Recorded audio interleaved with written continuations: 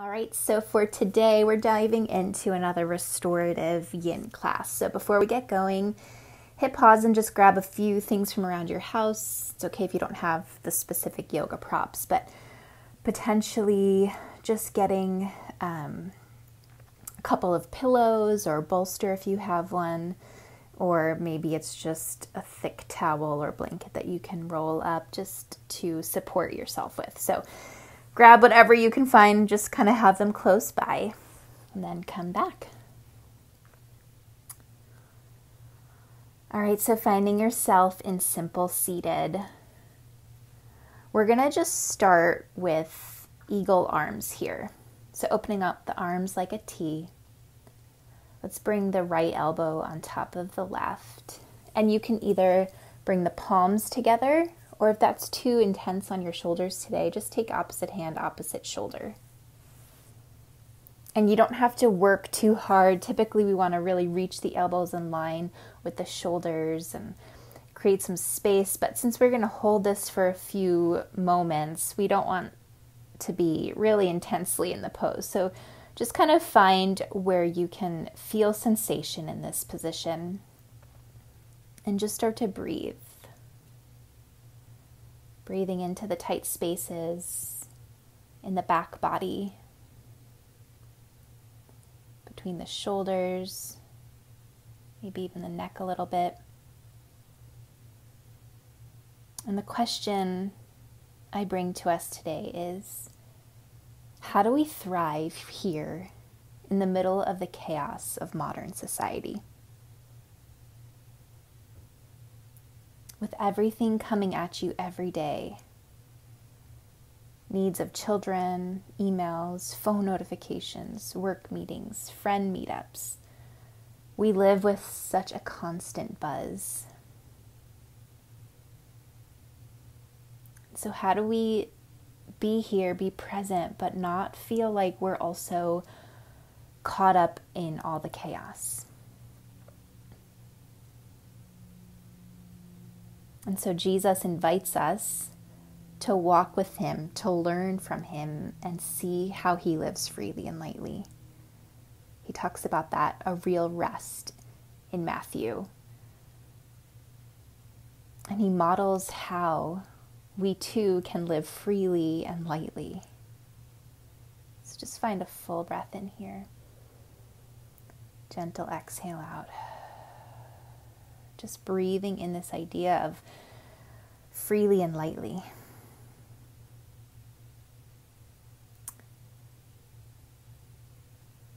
And one of the invitations for us to learn from him is to practice silence and solitude.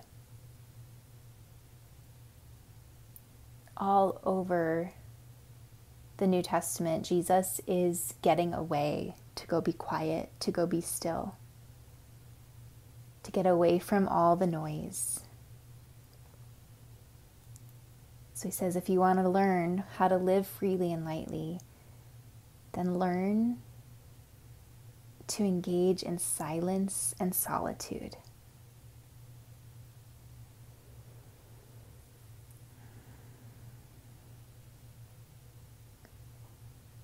Let's release that bind here, maybe roll the shoulders a little bit. Maybe moving the neck around before we take the other side. So when you feel ready, just open the arms out like a T again, this time crossing your left elbow on top of your right, taking either variation that works for you today. As you just sit with your breath, your slow, deep belly breathing. And let's just be in silence as we hold this posture.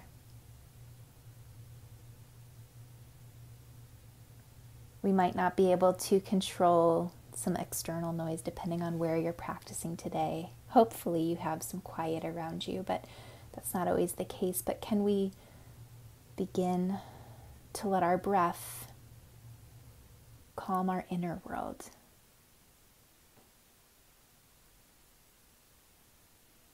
Relaxing your jaw.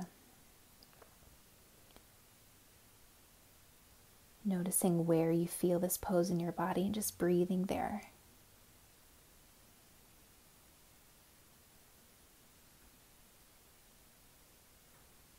Perhaps you observe any mental chatter that's going on. We don't just come into a practice and immediately find inner quiet. We might not even find it throughout this whole class, and that's okay. We're we're practicing the discipline.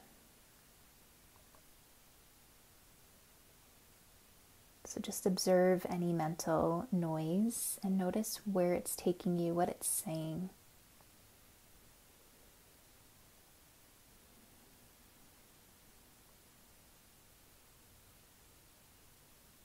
And then just return to your big belly breath. That freely and lightly invitation to live.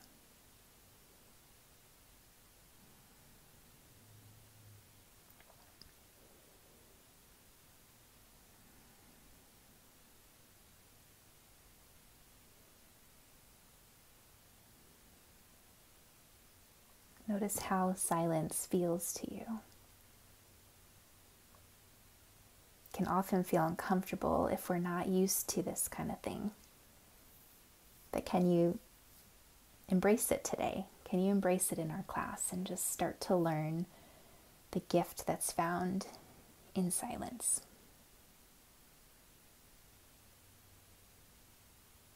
So release that bind again, just rolling the shoulders, releasing your neck however you need. And then just making your way into table. Just finding little breaks to find some flow and movement before we then sit into another posture. So move however you feel.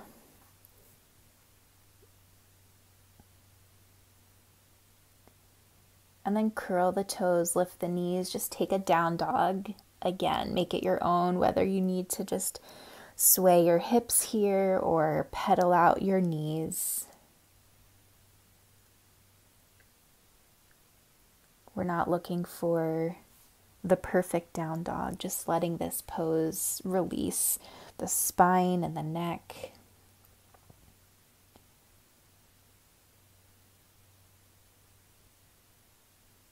And then coming back down into table. Just take a super slow cat cow, so really slow and intentional inhale as you drop the belly and lift the gaze. Maybe just finding that pause at the top of the breath before you round into cow, cat pose, leading with the tailbone dropping towards the heels and then rounding the spine. So, finding that pause at the bottom of your exhale and the top of your inhale, just taking it a little slower than normal.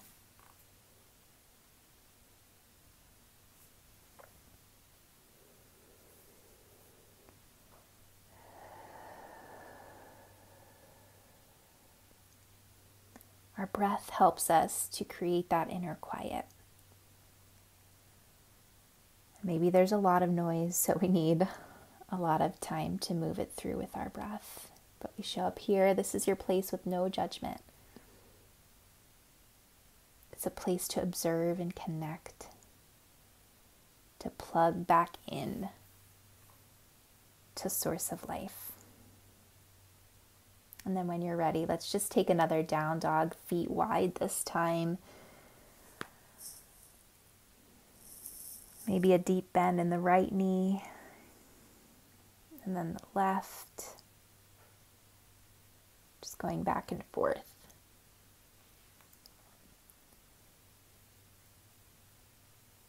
And then bring your feet back together, lifting your right leg up Let's shift forward into lying pigeon. So bring that right knee to the right wrist. And then just bringing your left heel in towards your groin. Depending on your hip flexibility, maybe you work the shin parallel to the front of your mat. Bring the fingertips to either side, square off your hips. If you feel like you're rolling over onto a side, maybe use your pillow or blanket or whatever prop you have to kind of rested under that hip that's trying to lift so you can stabilize there. And then as you're ready, maybe you just come lie into it. Maybe you start on your forearms and then maybe a little bit longer while you're here, you can sink in a little further. But see if you can avoid some of the fidgeting. So once you find yourself in a position that you can be in and breathe into, can you find stillness in your body?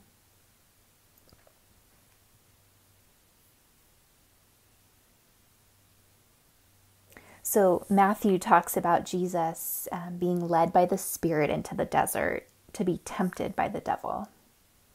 So, after 40 days and 40 nights of fasting, when Jesus was hungry and tired, this is when the tempter came. And I found this fascinating that, that the Greek word for desert is eremos, which has many meanings. So, it can mean desert or deserted place a desolate place, a solitary place, quiet place, or wilderness. And I love the idea of it being called a quiet place. And still, kind of with this intention from the ruthless elimination of hurry, John Comer says, Why did Jesus have to go off into the wilderness? Why alone? And why after 40 days of fasting when he's hungry he says, For years the story made no sense to me because I thought of the wilderness as a place of weakness. I read it this way Isn't that so like the devil to come after us when we're hangry and at our worst? After a long day or week? But then I realized that I had it backwards. The wilderness or the quiet place isn't a place of weakness, it's the place of strength. So just sit with that this idea that going off into the desert, into the quiet, solitary place, was the place of strength. It was after these 40 days there that Jesus had the capacity to take on what was coming for him and come out unscathed. Like he needed this 40 days there to be totally silent and alone.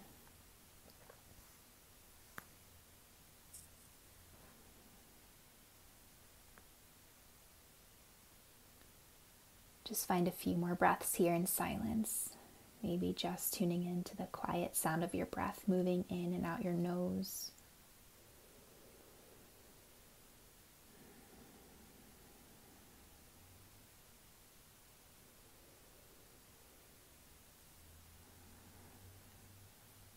As you're ready, just slowly start to come up. Make yourself back into a down dog and just gently shake out that right leg.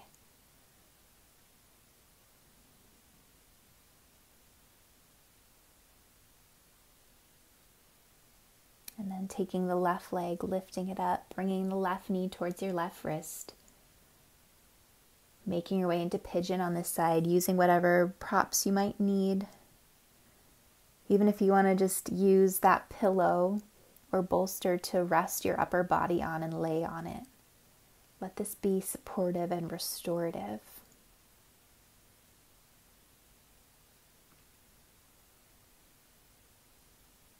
Once you find yourself in your lying pigeon, come into that stillness. stillness in the body, working towards stillness in the mind. Just keep relaxing your jaw and your shoulders.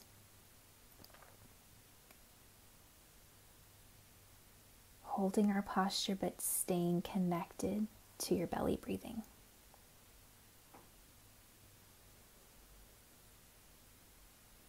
that this right here on your mat, this space of quiet and silence, is your place of strength.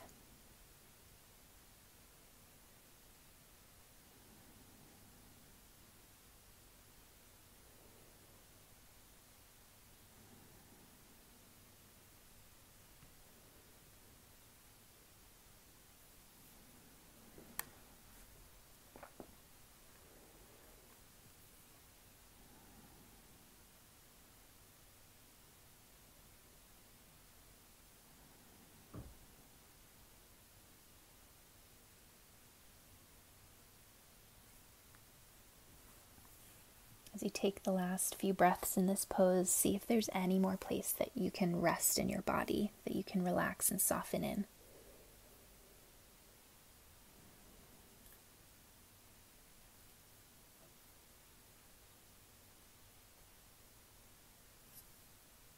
And as you're ready, just come slowly back up. Moving slowly into that down dog just to move around the leg, the left leg.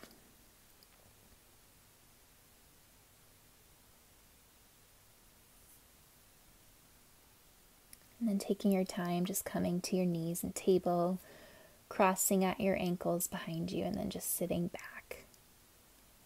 Bringing the soles of your feet together. Let's just find butterfly here. So maybe again, if you have a bunch of pillows, you can either stack them and maybe just hinge forward and lean on those, or maybe just sitting upright, hinging slightly forward is deep enough for you today. So just tune into your body and then start to find stillness.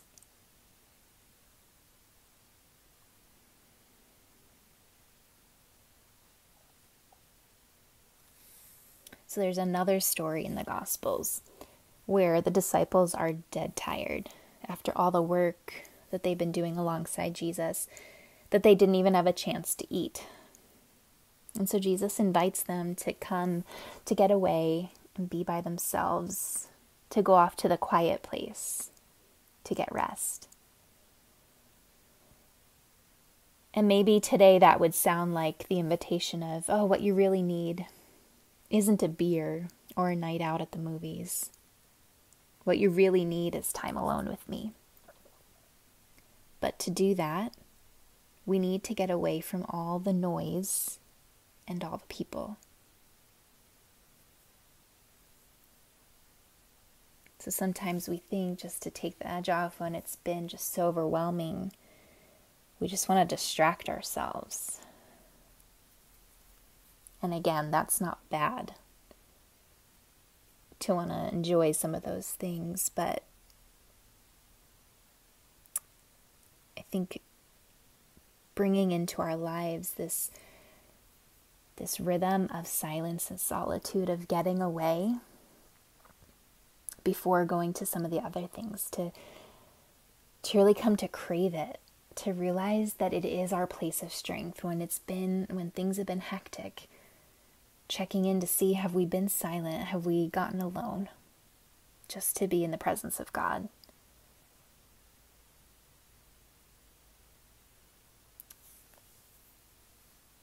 And then from there, being able to go out, maybe enjoy some of those other things, but prioritizing solitude is your place of strengthening, of refreshing, of like that true soul rest.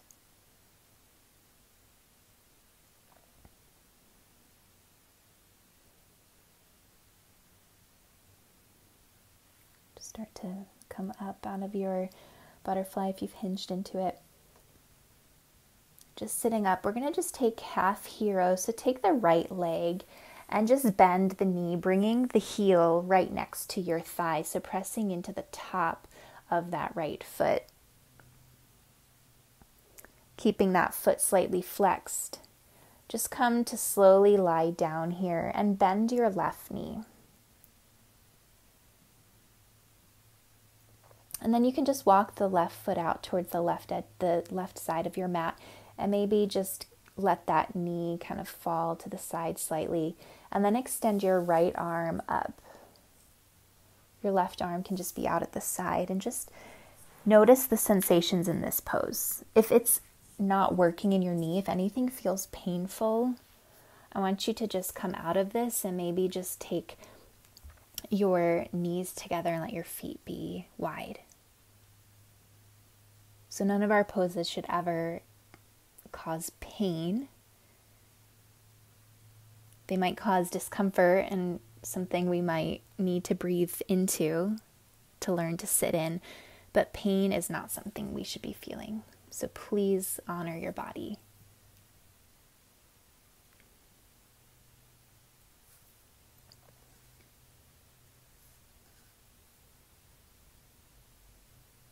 So I know we can easily avoid the very thing we need, which is this quiet place.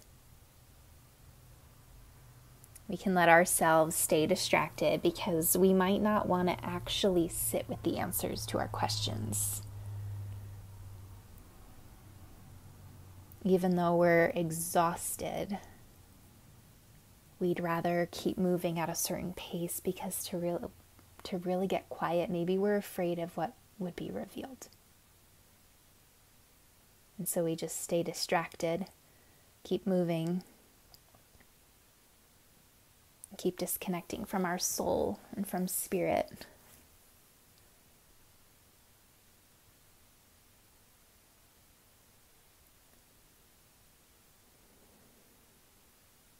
But I just want to keep coming back to this idea that Eremos, the, the quiet place that Jesus kept going off to, was the place of strength. It's not a place we need to fear.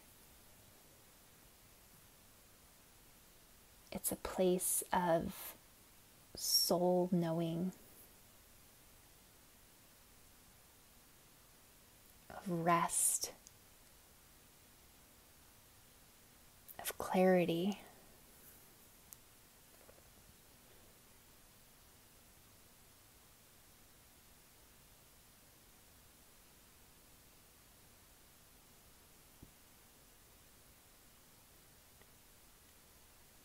Slowly kind of prop yourself up onto your forearms and just come up, letting that maybe shifting over to the left side so you can bring the right leg out in front of you.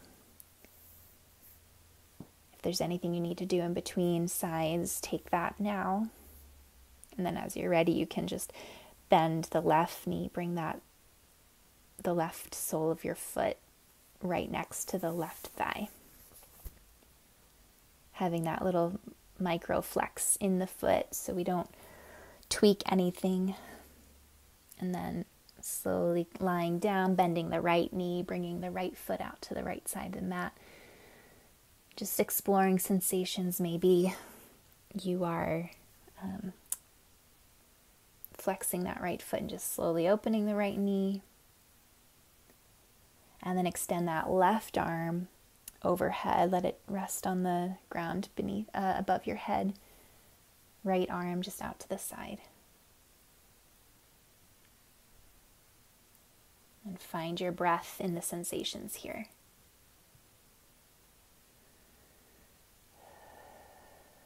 Noticing maybe the mental chatter is getting quieter.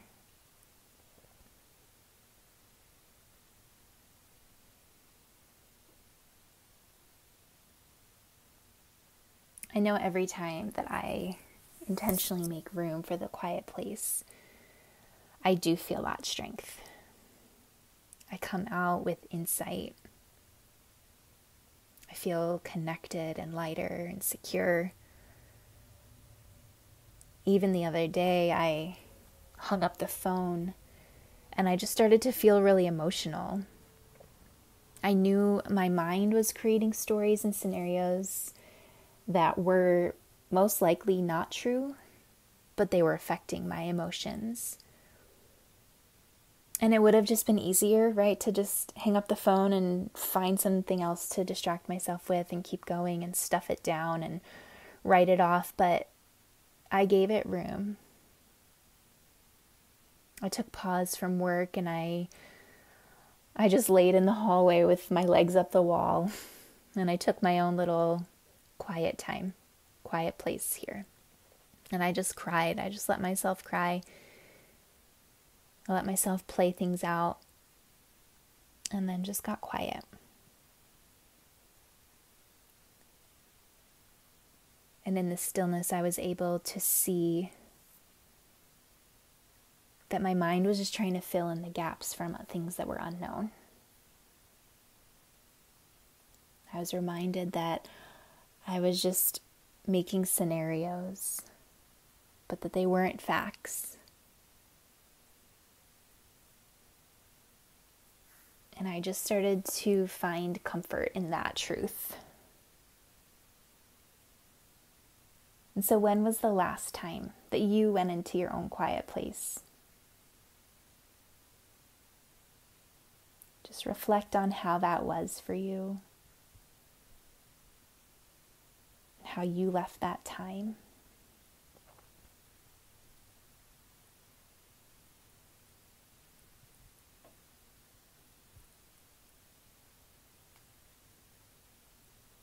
And maybe if it's been a while, you think about what it is you need to get quiet about.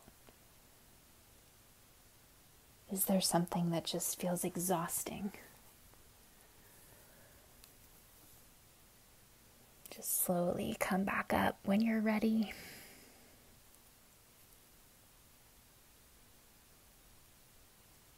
Letting both legs come out long in front of you. And then just coming onto your back, maybe hugging knees to chest for a few breaths, just rocking gently side to side.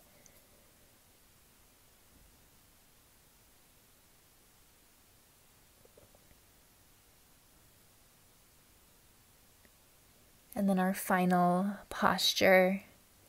Let's just take happy baby. So, reaching for the soles of your feet with your hands on the inside edge letting the knees drop down towards the ground as you just put a little pressure on your heels and the sole of your foot.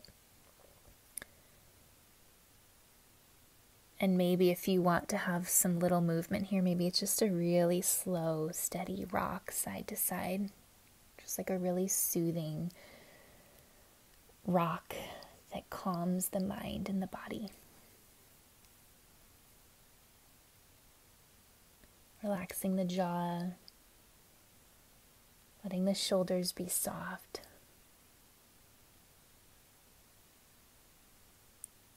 So Jesus came out of the wilderness with all sorts of clarity about his identity and calling. He came out grounded and centered. And I know for myself, I need a whole lot of that. And I need it more than just every now and then. I need that daily. I need that multiple times a day.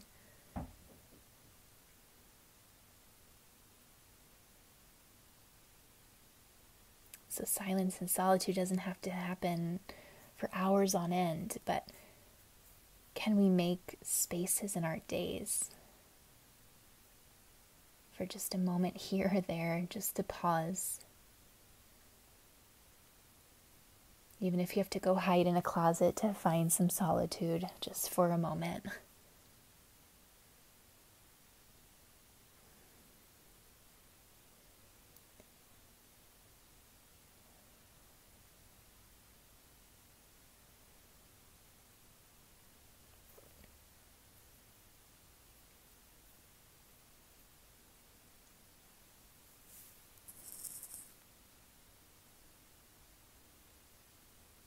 Just letting your legs go out long in Shavasana when you're ready. If you need to take any movement beforehand, just do that.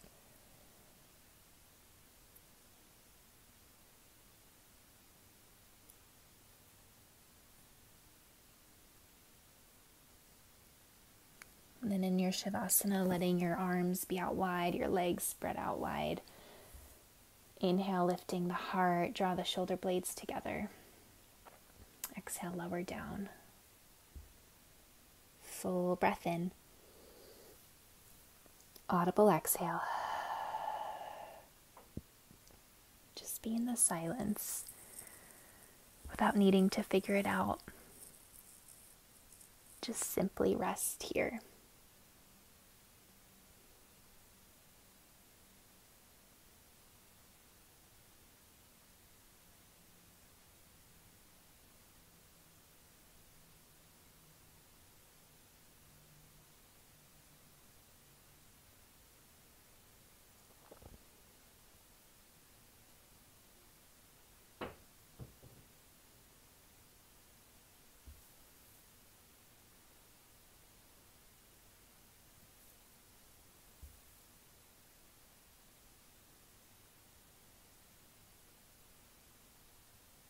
When we live into a practice of silence and solitude, we come to a place of freedom. Our failures slowly lose their power over us, as do our successes. We get out from under the tyranny of other people's opinions, their disapproval or their approval of us, and we're free to just be us, the mixed bag that we are.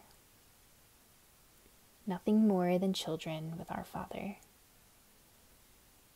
adopted into love and free to be in process, yet to arrive. And that's okay.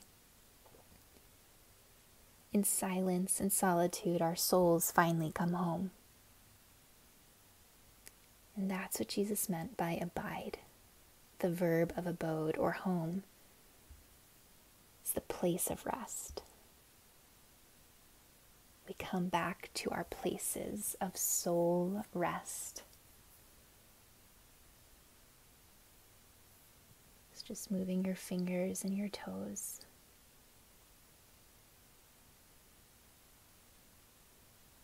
Just moving your neck side to side slowly.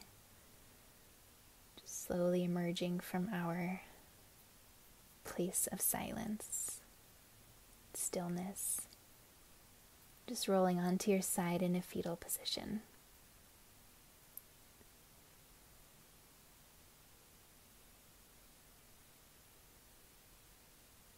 And as you're ready, just coming up to seated, palms open on your knees, sitting up nice and tall, full breath in, sigh it out. So from chaos to soul rest, lead us. From darkness to light, lead us. From death to full life lead us.